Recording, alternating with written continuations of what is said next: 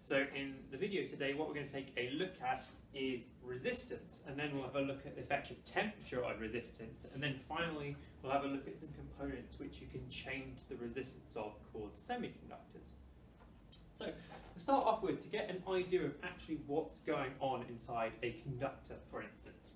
So most people have in this idea in their head, this idea that essentially like your charges are like nice smoothly moving around your circuit in a nice little chain, sort of like some sort of convoy going through your circuit. And actually the reality is far from that. So if we look at the path of say one electron through your circuit, we can see the path is extremely haphazard. We can see it's going all over the place.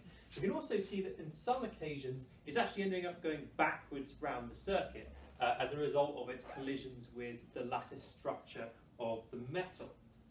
So you can see here, we've got it pinging around all sorts of directions, but on average, what happens is it's going to move across this way because the potential difference we've applied is essentially making it go round this way. So we've got a general trend of movement this way, but don't think that doesn't mean you can't be going the other way, up and down, backwards, that's all going on. Okay, so that's actually what's happening. And as the electron collides with these, what happens is it transfers some of its electrical energy into thermal energy. So that's why resistors get hot when you use them, because that's what resistance is. It's from these collisions transferring electrical energy to thermal energy. Okay, so that's actually what's going on. Um, so let's look a bit more about the things that can affect resistance. So essentially, good conductors, as you should know, are things with free electrons, which is what makes metals such good conductors. Their structure has a lot of free electrons in it. And generally speaking, the more free electrons your structure has, the more charge you can pass per second, therefore the higher current you can have. And if you can pass a higher current, you have a lower resistance. So that's what's going on this one.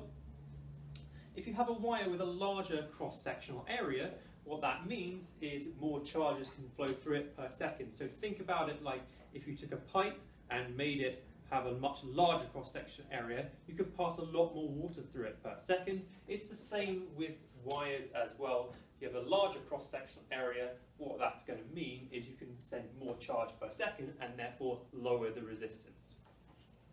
If you make your wire longer, what you do is essentially add in more um, atoms or like molecules or whatever it is from the structure that can get in the way. So if you make it longer, you create more of those collisions. So you're going to transfer more energy into thermal energy. So that means you've got a higher resistance essentially there.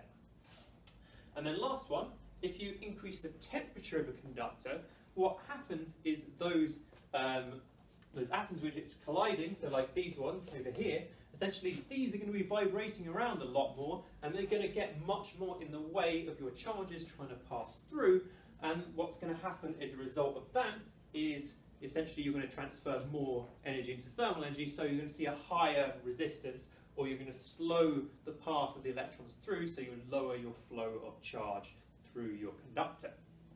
So those are the things you can use to affect resistance and this is nicely summarized in an equation which is often called the resistivity equation. So what you've got, your, your terms, resistance, your length of your conductor, the cross-sectional area, and a property called resistivity, which is used to look at the other factors apart from length and area that will affect resistance.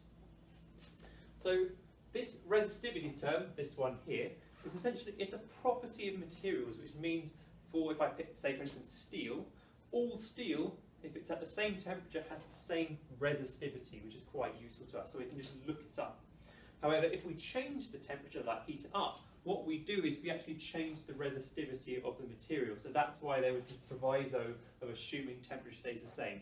So we can change resistivity, but at the same temperature, all steels or all aluminiums or all coppers, whatever, have the same resistivity, which is quite useful to us.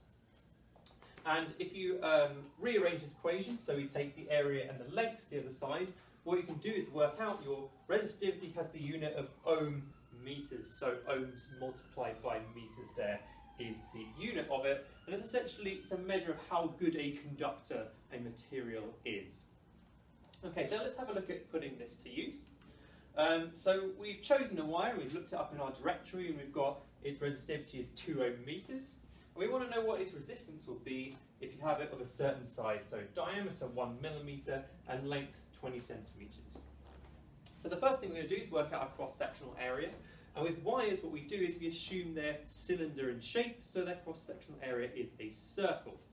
Um, so we've been given the diameter, so this is the area of a circle equation that we want. We're making sure to convert into SI units or meters there. We calculate essentially what the cross-sectional area is. And then we can plug that into this equation over here, remembering to convert your length into meters, and you come out with this value here, 5.1 times 10 to the 5. Now the thing to go here is, hang on, didn't he just say that was a wire? Isn't that resistance massive? Yes, whatever this is would be a terrible, terrible wire to use because its resistance is colossal. Um, so yes, reflecting on your answer and thinking that's a ridiculous resistance for a wire. True, but it's been done correctly in this case, but always a good check. Okay, so that concludes the linking temperature and resistance and looking at resistivity section. Uh, so what I'm going to do now is I'm going to go on to look at semiconductors. So since I'm changing topic, what I need is an outfit change. Okay, so earlier what we looked at was that generally speaking, increasing the temperature increases the resistance of a component. Um, so what that means is most components are PTC or positive temperature coefficient. So what that means is just fancy language for if you increase the temperature, resistance increases, but this is the proper way to describe that. However, not all things have that relationship. So um, there are some devices which we can actually change the properties of. So what we can do is we can change the number of free electrons in the structure of that component, which is very useful because it allows us to control certain scenarios. So some examples of these, uh, you may have heard of some of these before. So light-dependent resistors, or LDRs, uh, thermistors, or sorry, specifically NTC thermistors. So we'll take a look at a few of those different components. Okay, so the thermistor. So this is a contradiction to the rule I just told you about. So although most devices increase temperature, increase resistance, an NTC thermistor, or a negative temperature coefficient resistor, decreases its resistance as you increase the temperature. So increasing the temperature increases the number of free electrons in the structure of it, so it can actually carry more charge per second, so it has a lower resistance. And if you're looking at a circuit diagram, if you want to know what a thermistor, or identify a thermistor, it looks like one of these here. So that's an NTC thermistor. Um, we've got the other device I told you about earlier, so an LDR, or a light-dependent resistor.